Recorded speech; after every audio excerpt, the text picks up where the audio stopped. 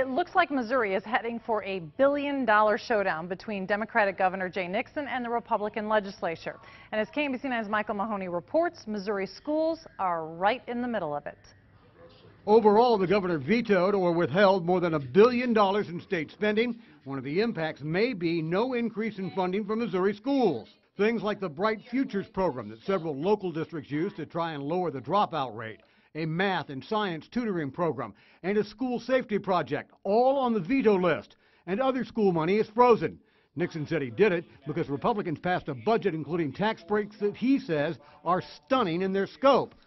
Republican Ryan Silvey called the governor's move a joke. Um, there are going to be a number of issues that the legislature has to look at and say, no, Governor, we think these are priorities and you need to make your cuts somewhere else. Kansas City Democrat Gail Beatty says she was surprised by some of Nixon's cuts, but she also blames Republican tax cuts.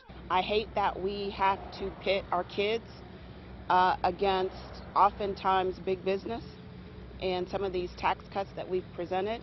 Nixon says some of this money could be released in September if the legislature sustains his vetoes when they come back into session. Michael Mahoney, KMBC 9 News.